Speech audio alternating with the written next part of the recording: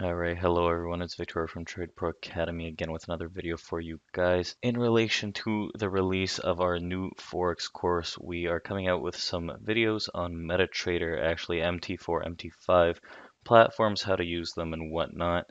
In our Forex course, we actually dived into trading Forex on TradingView, which we do like. Actually, we went through a lot of examples and how to connect it to brokers, but here we're going to do something similar for you guys today. We're going to go through MetaTrader 5 on my screen right here, the general uses of it, what it encompasses, how to use it, and I hope everyone enjoys. So let's just dive into this.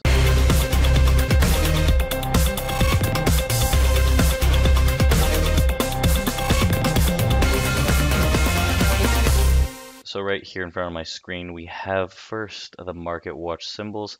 You can click here to add any symbol you want.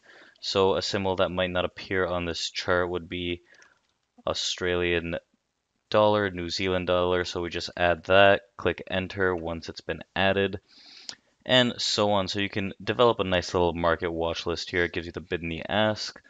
On the screen here, you can see we have three different charts. This one right here happens to be the USD CAD, British Pound USD, USD Japanese Yen. So right here you can see we have the bid and the ask. So by 1.3062, it gives you the last two digits right here. The pip values right here, you can easily deduct the spread between the two. Right here at the top, you can see again USD Japanese yen, it gives you the bid and the ask sell buy. Right here is the volume. So 1.0 would represent a standard lot, 100,000 units. So you can increase it, decrease it however you like. So for example, 0.5 would represent 50,000 units of a currency, so half a standard lot and so on. So guys, down here we have tabs. You can see by clicking it, it'll highlight each of the charts that we want to look at. We can add further tabs down here by laying out a new chart. Let's say we'll go Australian dollar USD. Right here it appears as a bottom tab. We can minimize it and then bring it back once we click that tab yet again. So let's go over the top here, what you can find, and then we'll dive into some charting, and then finally we'll go into logging in or setting up a terminal with MetaTrader. So right here, we start with file, you can see new chart as I previously displayed. It does open it up down into this tab area, just opens a new chart for you. Open deleted. So again, same thing, remove a chart if you want. Down here, you can customize your profiles, close, save, save as, open data folder from your other files maybe. And down here, open account, log into trade account.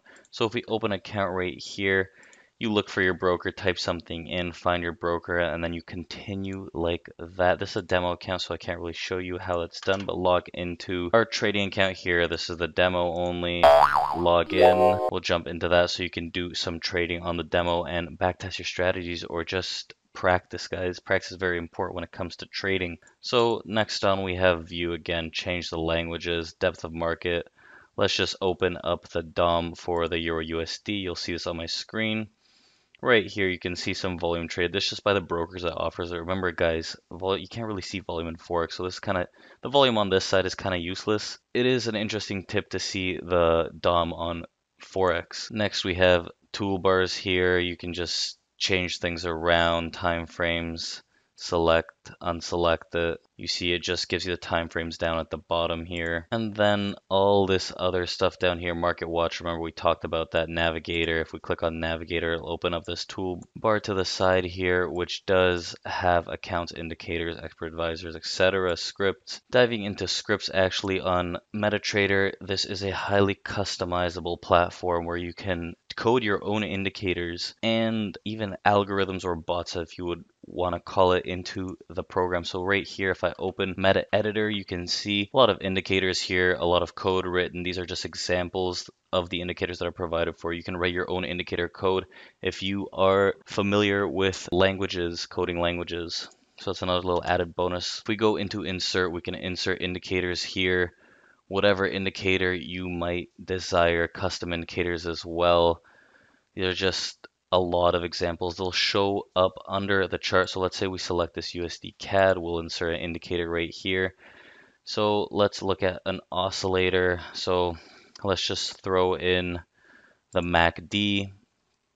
Everything looks okay, blah, blah, blah. So it does show up down here under the chart. So that's what the MACD looks like. This one hour time frame. We'll dive into time frames and chart settings a little later on. We can just leave that down there and then let's continue. Objects, again, this is good for charting your own horizontal lines, whatever it may be, fibs, some channels, maybe some trends, honestly anything you guys can think of here. And then we move on to charts here. This is a lot of information right down here. You can customize the chart as you wish. So we do like the candlesticks. You can turn into a line graph or a bar chart. Time frames, again, you have an array of time frames. So right here, it'll be the same if you right click the chart. You can customize it pretty much the same way as that chart tab. If you want to do your multi-time frame analysis, let's say we open another USD CAD right here. Go to new chart, another USD CAD. This was a one hour, so this new one we can change into